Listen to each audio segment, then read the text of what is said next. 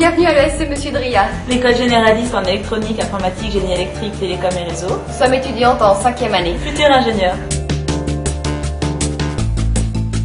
Ici, nous sommes dans l'un des deux grands amphis de 150 personnes du bâtiment Molière. Fait une capacité de 300 personnes euh, lors des conférences ou euh, de grandes réunions euh, avec tous les élèves. Ces amphis sont tous équipés d'un accès handicapé et de vidéoprojecteurs. L'école comporte en tout plus d'une trentaine de salles dont la plupart sont équipées d'ordinateurs et sont de différentes tailles suivant les cours en classe entière ou les cours en petits groupes. Je m'appelle José Caceres, je suis élève en dernière année de Sudria. Nous sommes ici dans le laboratoire système énergétique. C'est un des laboratoires les plus grands de, de l'école. Le but ici, c'est de mettre en place des commandes capables de commander des systèmes assez compliqués, comme par exemple des systèmes éoliens ou encore euh, des centrales nucléaires. L'école met à notre disposition plusieurs bornes intranet qui nous permettent de suivre en direct toute l'actualité de l'école, que ce soit les événements liés à la vie associative ou encore toutes les informations pratiques. Vous êtes ici dans l'un des trois laboratoires en libre service du département informatique. Ce département compte 130 postes répartis en 7 laboratoires. Les langages étudiés ici sont le C, le C++, le C Sharp et le Java, sur les systèmes d'exploitation Windows, OpenVMS et Linux. Welcome to One Hour Speaking Labs. C'est ici que nous pouvons apprendre l'anglais, l'espagnol ou bien l'allemand, car le SME Sudria met l'accent sur la formation internationale.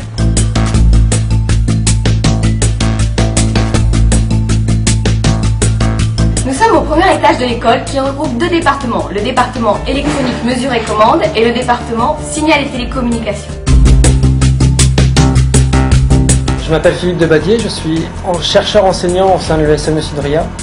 J'ai pour euh, fonction ici d'aider les élèves durant leur projet de fin d'études et d'assister des entreprises dans des créations de, de projets, dans des idées de projets et des réalisations. M'appelle Nicolas, je suis élève en dernière année dans le département signal et télécommunications. Donc voici un de nos laboratoires dans lequel nous effectuons la transmission et le codage de différents signaux et également le traitement des images et du son. Ce département mène en dernière année à trois voies d'approfondissement différentes. La voie d'ingénierie des systèmes électroniques embarqués, la voie signaux, images et sons et la voie ingénierie des réseaux de télécommunications. Ces voies permettront de travailler dans les domaines tels que l'aéronautique, l'automobile, les satellites, les radars ou encore euh, l'imagerie biomédicale.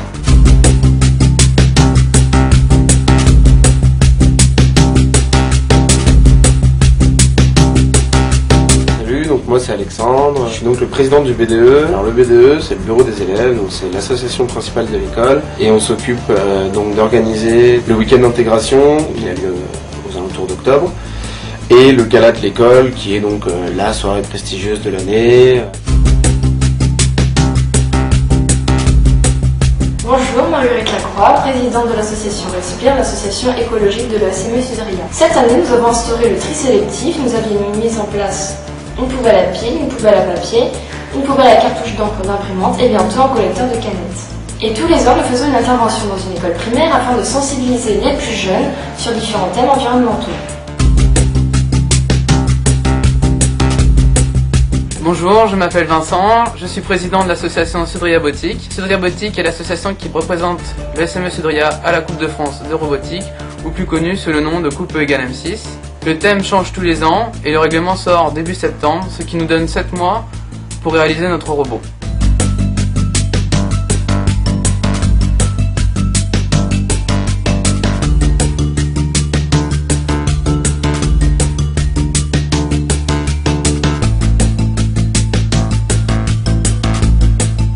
Et bien voilà, la visite de l'ESME Sudria est terminée.